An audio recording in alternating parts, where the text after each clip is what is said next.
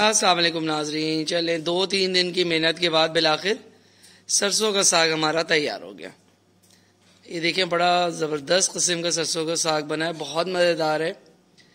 मैंने आपको बताया था कि तकरीबन तीन चार किलो करीब मैंने सरसों ली थी, दो किलो बाथू दो किलो पालक और आधा किलो मेथी, इन सब के अंदर एक पाव हरी मिर्चें और एक पाव लहसन डाल के चढ़ा दिया था।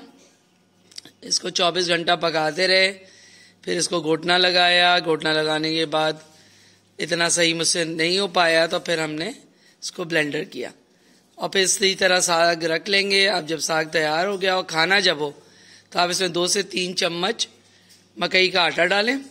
मकई के आटे के साथ इसको पकाएँ, लहसन और देसी घी का बघार। तो इस तरह ये साग बन के तैयार है। सर्दियों की एक और डिश उम्मीद है आपको पसंद आएगी, आप भी बनाएँगे। और मुझे दुआओं में याद रखिएगा, मेरे चैनल को सब्सक्राइब कीजिए, मेरी वीडियो को लाइक कीजिए, व्यू कीजिए, अपने फ्रेंड्स के साथ, रिश्तेदारों के साथ शेयर कीजिए। इंशाल्लाह मिलते हैं किसी और रेसिपी के साथ। अल्लाह हाफिज। ये देखें, ये है सरसों का साग, जो हमने अपने फार्म पे लगाया हुआ था, वहाँ से लेके आए यही तकरीबन चार किलो है।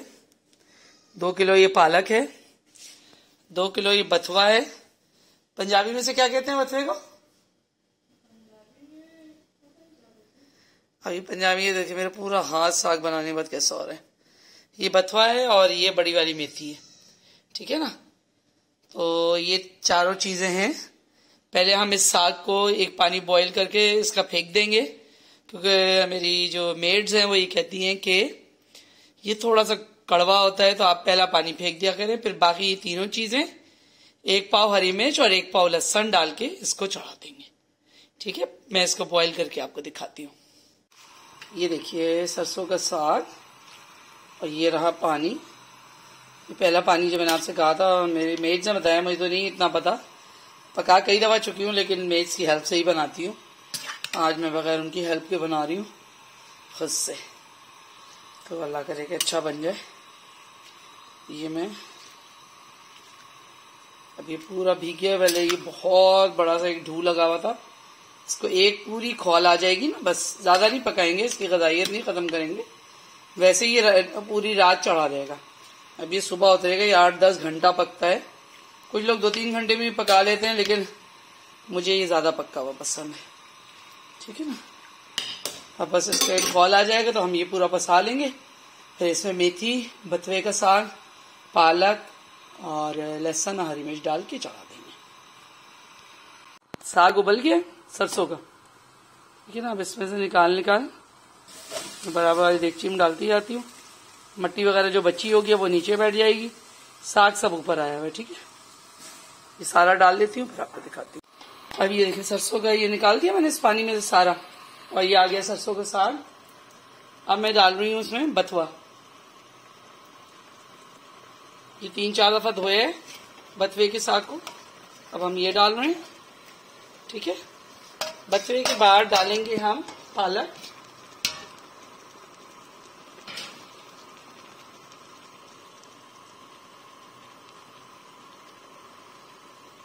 ये देखिए, पालक को भी अच्छी तरह धो लिया है मैंने।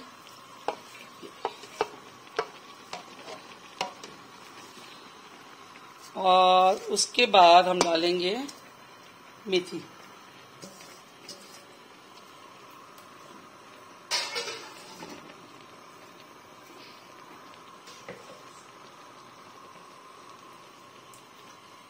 आधा किलो मेथी ली थी और होने के बाद फिर ये ये बची है। ठीक है? ये डाल के जरा पानी डालते हैं। तकरीबन ये वाली देगची जो है, ये आधा देगची पानी में डालूँगी, ठीक है? तकरीबन समझिए चार से पाँच लीटर पानी। ये देखिए, सब डाल दिया।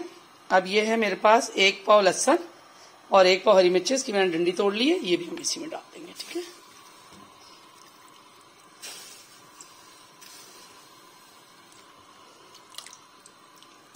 पानी में भिगोया हुआ है मैंने इसे। ताकि बिल्कुल साफ़ सुथरा हो जाए। ठीक है।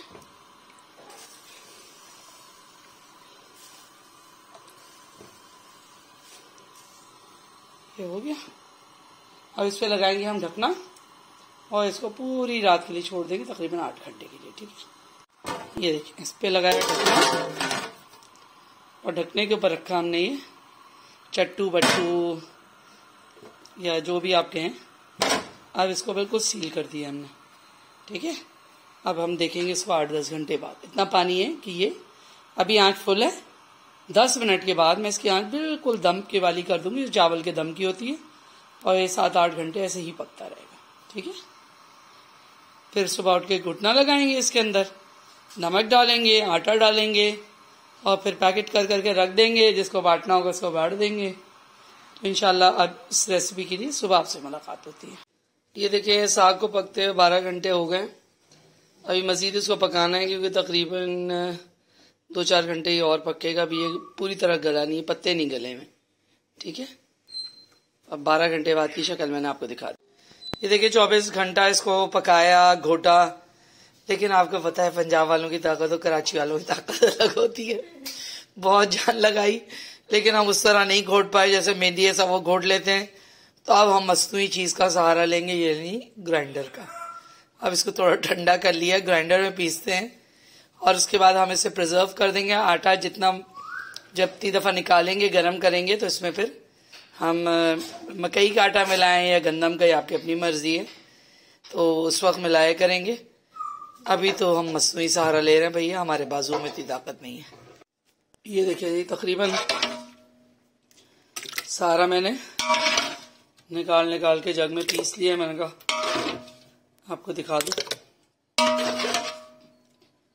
ये जग में पिसा है कलर भी कुछ पंजाब जैसा आ गया है पिसने के बाद। तो ये लास्ट बैच हम पीस रहे हैं। ठीक है, पीसते हैं फिर आपको दिखा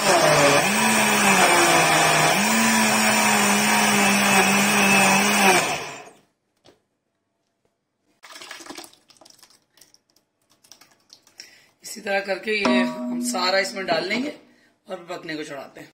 ये देखें आप, काफ़ी घोटा लगाया था सेट नहीं हो रहा था।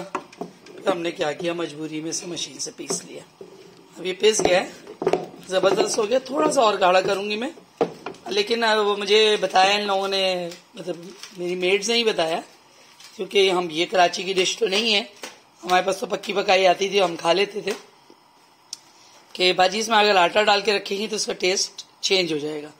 तो उसको ऐसे ही रखिए और जब जितनी दफ़ा खाना हो, निकालिए, ताज़ा आटा डालिए बघारिए और खा लीजिए। तो मैम मैं इसी तरह करूँगी, क्योंकि जिसके जो होता है, देश का खाना है, उसको बेहतर पता है कि कैसे पकाना है और कैसे खाना है। तो अब ये हमारा तैयार हो जाएगा। तो उसके बाद हम इसके पैकेट बना बना के रख देंगे। तो ये देख लीजिए, हमारा सरसों का साग तैयार है। इनशाला किसी और रेसिपी के साथ आपकी खिदमत में हाजिर होंगे। अल्लाह हाफिज। ये देखिए सरसों का साग तैयार है। अब हम इसका बघार करने जा रहे हैं ये। इसमें निकाल के इस वक्त इसमें मकई का आटा मिलाएँगे।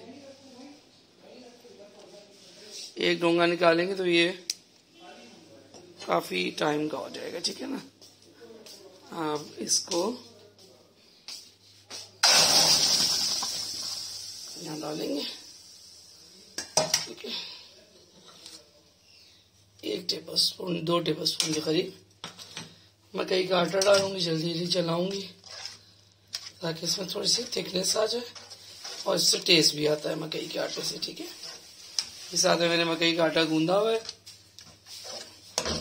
मकई की रोटी बनाने के लिए। आँच तेज कर दें, ठीक है?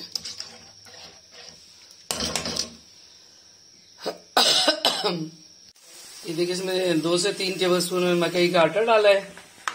ये पक के इसमें थिकनेस आ रही है। ठीक है? और इस साइड पे ये बघार हो रहा है।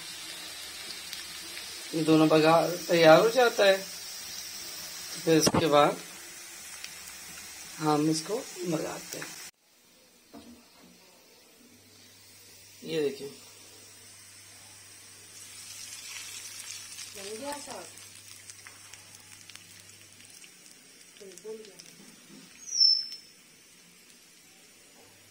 जी, ये देखिए, साग बन के तैयार है। और आप लोग भी खाइए एंजॉय कीजिए। और इंशाल्लाह किसी और रेसिपी के साथ आपके हाथ हाजिर होंगे। हाफिज़।